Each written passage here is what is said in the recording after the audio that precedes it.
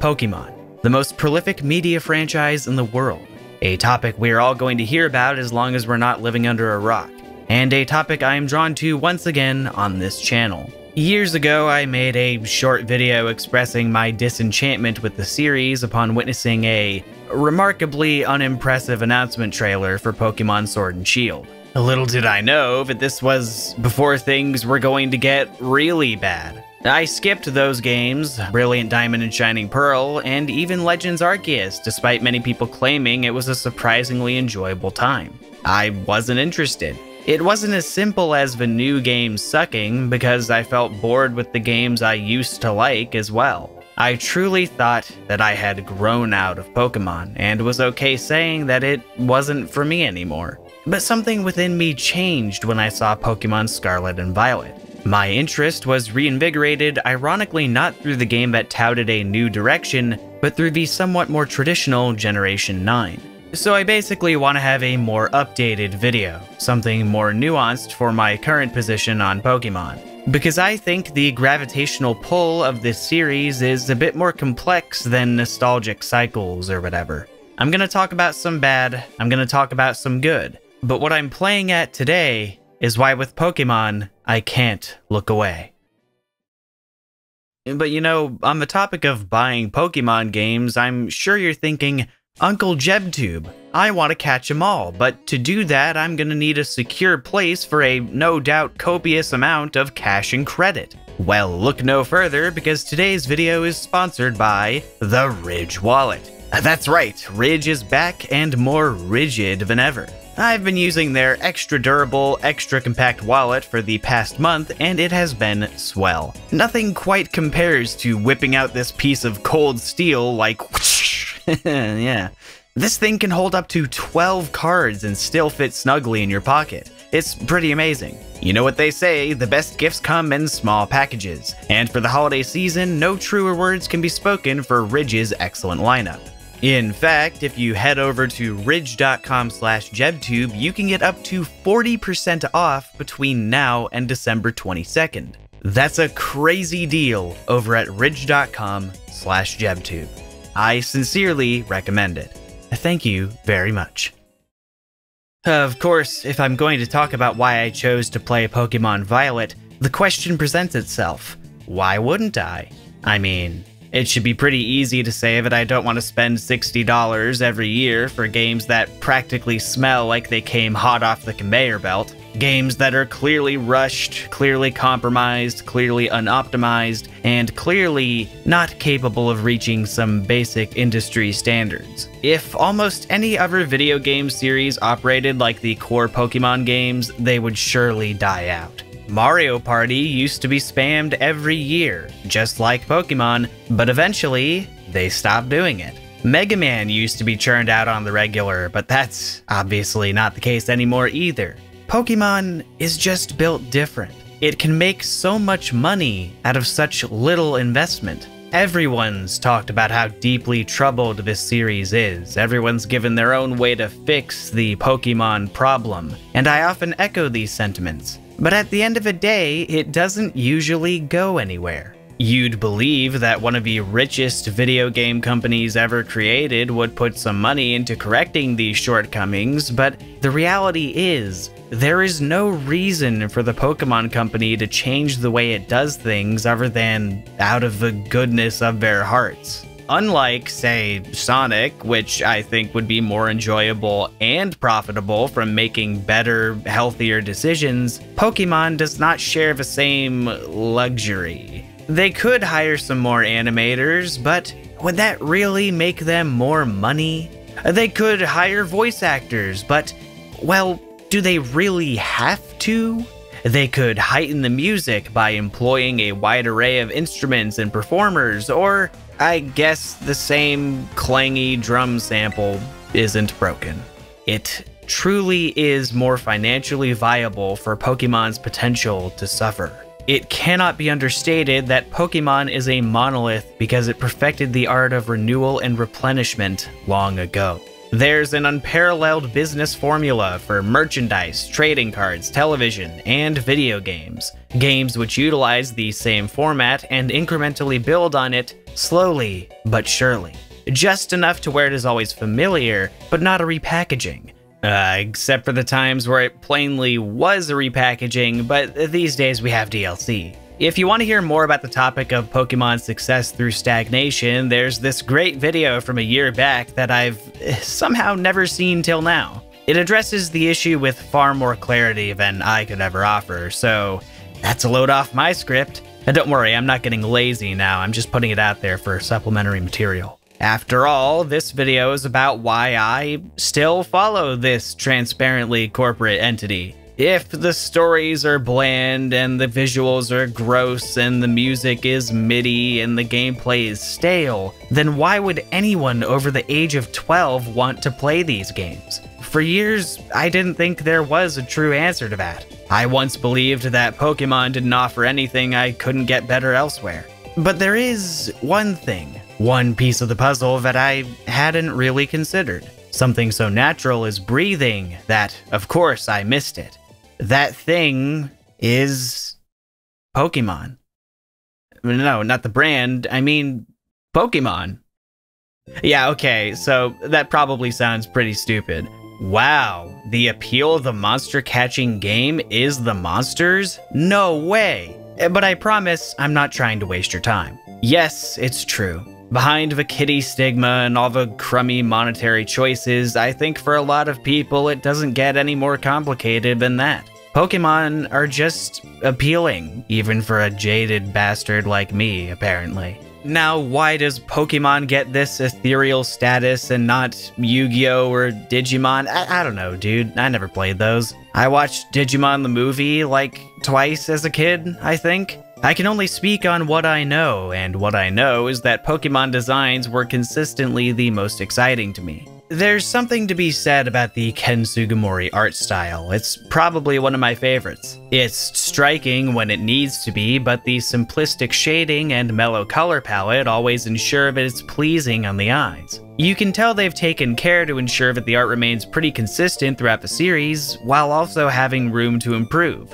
The Pokemon themselves, though, are also designed with balance in mind. I don't often feel that they are over-designed, nor the opposite extreme, and when they are, there's a contextual purpose behind it. Though this, I am never going to be okay with. What the fuck? But of course, artwork is only the first step towards inviting someone to play the games. Anyone could just appreciate a pretty picture and move on with their day, but people want to form connections with these Pokemon. And that leads to the bigger point of choice. After all, the phrase does go, I choose you. You choose a version of the game. You choose your starter. You choose your entire team. This makes every run a personal experience. To make these choices, you naturally would look into each Pokemon's appearance, or what they offer in battle, or maybe even which one has the most raw Pokedex entry. But the real secret ingredient, the thing that separates it from many other RPG that has choices of its own, is that Pokemon is a form of social expression. Nothing quite compares to the feeling of telling your friend about a shiny you caught, or the feeling of taking your carefully crafted lineup and facing off with other real people. In a sort of meta sense, it does become about the bond between humans and Pokemon, as in uh, us and our weird Nintendo products. We become so immersed in the virtual world of Pokemon, even if it's not really doing a great job prompting that. It's kinda bonkers. The act of catching new creatures alone is alluring, and the Pokemon Company knows this because each new game is basically marketed as such. Each trailer is usually, hey, here's a new Pokemon okay, bye. Or, hey, here's a new wacky trainer, go draw something nice. Yeah, even the humans are significant enough to generate attention, and they just throw balls and point. Alas, this all may appear to be frivolous nonsense. Whoa, so the games include new characters? What fun. Guess it doesn't matter how good they are as long as they have new things. It raises the question of if Pokemon exists exclusively through nostalgia and brand loyalty. To which I would say, if that were the case, there would surely be diminishing returns. Seems like there's more at play here, and if I were to guess, it would have something to do with Pokemon's possibly invincible generational system. Oh, Lord. I remember back in like uh, 2012, I was thinking, man, how many generations can Pokemon even have? Are we gonna get to Gen 10 and have like over a thousand Pokemon? Fast forward to 2022, and we're at Gen 9 with over a thousand Pokemon. Ooh. And the worst part is the realization that people were asking that very same question back when I began playing. It makes you think. This Scarlet and Violet is to some new kid what Emerald was for me, which I guess is true about any long running franchise, but with Pokemon, there's clearly an intended purpose in that. That kid isn't just having their first Pokemon experience, they're likely having mine too, at least at its core. Beyond Pokemon Gold and Silver, the term sequel becomes less apt because each game is a new beginning, indeed, a new generation. Almost every fragment of a Pokemon game's DNA will attempt to recreate the original feeling for the current demographic. Things like electric rodents, pseudo legendaries, or villainous teams. It may seem asinine, but Pokemon retains interest exactly through iterations on the same thing. It's cultivated an endless cycle of old and new audiences.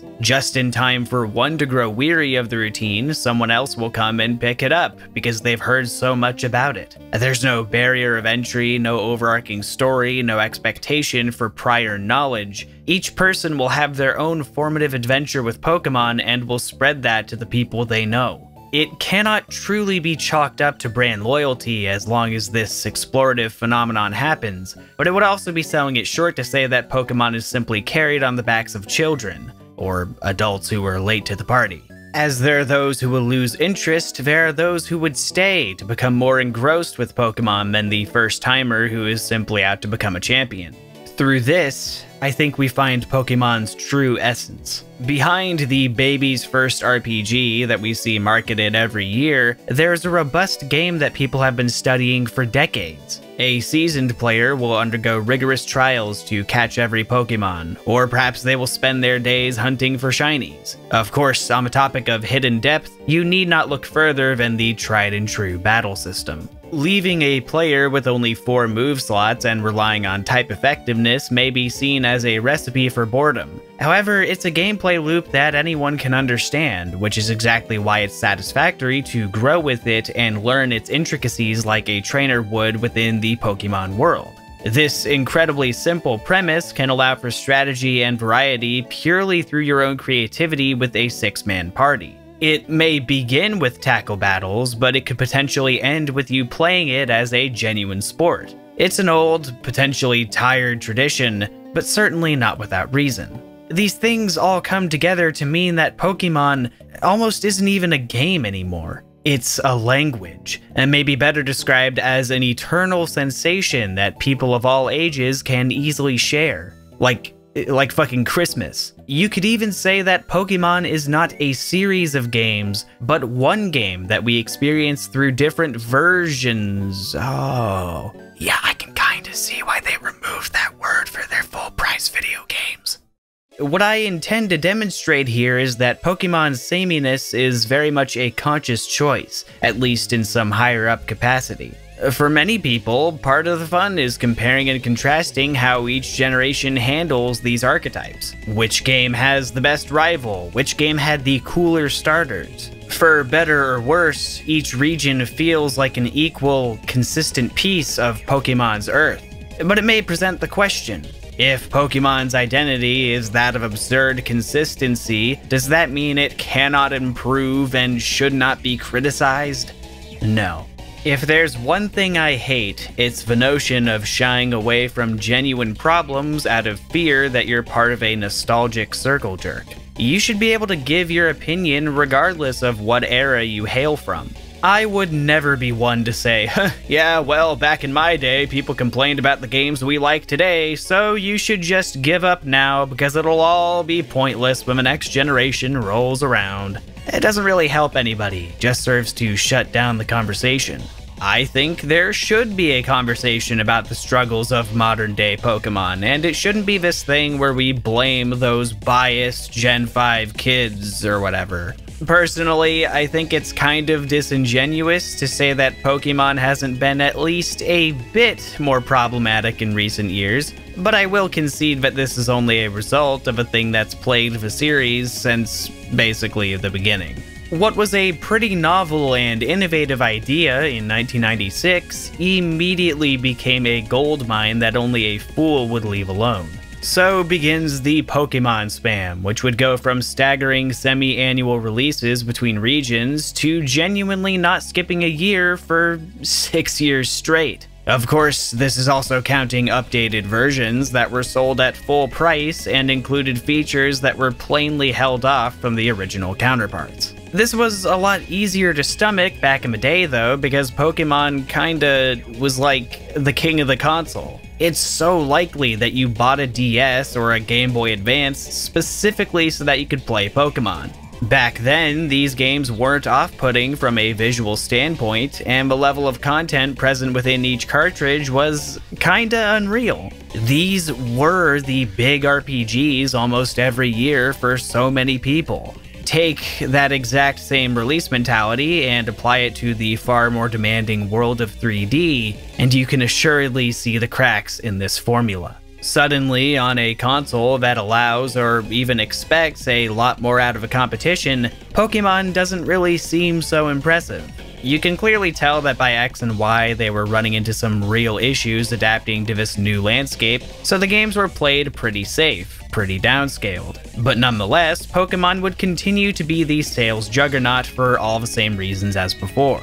This leads us to the present issue where Pokemon is finally on a home console, and yet, it surely does not feel like it it makes you realize exactly why the core series didn't jump to consoles sooner. Its business model is simply designed for limited handhelds. But if it's all the same to the Pokemon Company as long as they make money, then I guess we should just quit crying about it and vote with our wallets instead. That will surely show them that we don't support, uh.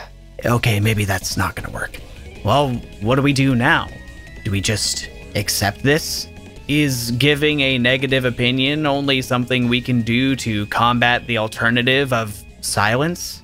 Is the only thing left for Pokemon inevitability? Honestly, maybe.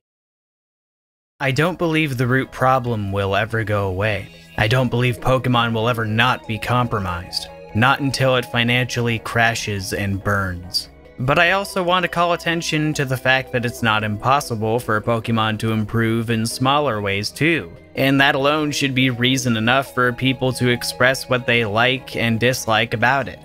I mean, it's not like improvement never happens. It's not like they've literally been making Game Boy games all this time. Low bar, I know, but someone over there at Game Freak clearly is trying to improve the accessibility around the core premise, despite time restrictions that may prohibit greater change. As such, I find it kind of hard to go back to some of the older titles, and that's definitely not for nothing. Small changes from a design standpoint, such as HM removal, physical special split, and seamless battles, genuinely add up and make the games more palatable. So, on the note of improvement, one thing I do want to bring up is the Cut. Oh lord. There could be no greater example of Pokemon's struggle with inevitability than this. When, after 23 years, it's announced that you can no longer use every Pokemon in each game going forward, everyone is understandably a bit upset. However, I think it's fair to say that this was always going to happen at some point or another. This was unfortunately the risk they ran when implementing this transfer system all the way back in Gen 2. I mean, I think they ripped the band aid off in the worst possible way, at the worst possible time, but could you actually imagine them programming these games forever with over a thousand Pokemon in mind? It may not seem like it, but there's a shitload of variables involved when doing that, even if many of them are transfer only.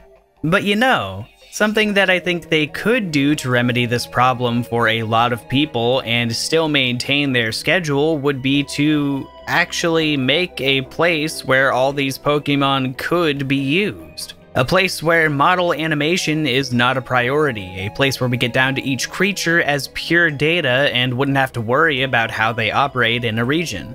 Basically, I would like it if they would let you battle and breed Pokemon in their paid cloud service.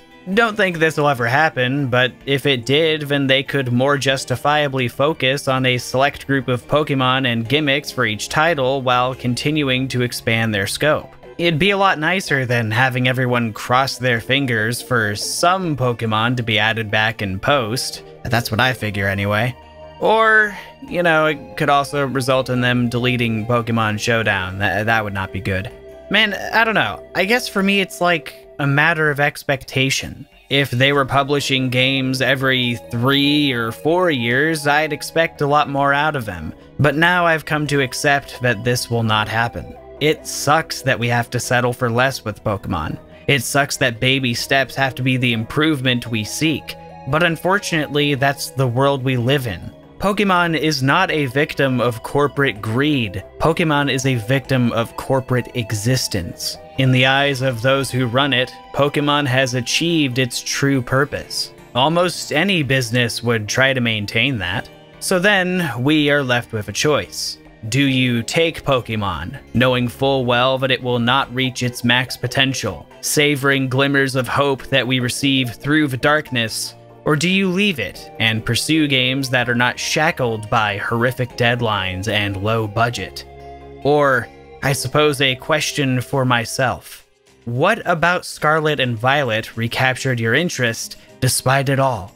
I guess the answer is that in it, I saw a glimpse of what I always imagined console Pokemon to be. The prospect of having a truly open world where I could walk freely with my Pokemon and even my real life friends is all I apparently needed.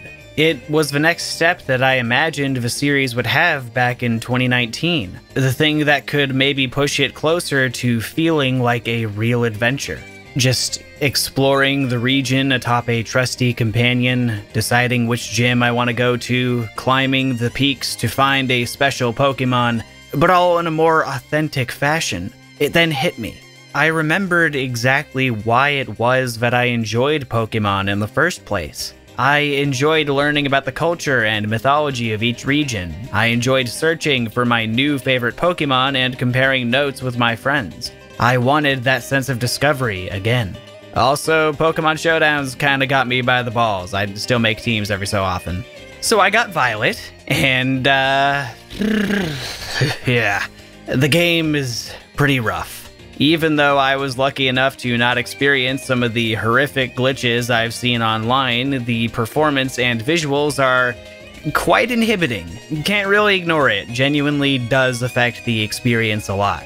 But buried underneath all that shite, I found the treasure I was looking for. Once the game got going, I was flying all over the place, trying to grab all the sick new Pokemon. I made a regional team for the first time. I got to dick around with my friends a lot because the online worked surprisingly well. And I even enjoyed the story for what it was, though I won't spoil why. Many improvements have also been made to the core gameplay both in this game and the games I skipped, so it was pretty refreshing. It truly felt like the least restrictive Pokemon game, and to be honest, I think it's kind of amazing that they did make a game this big in so little time.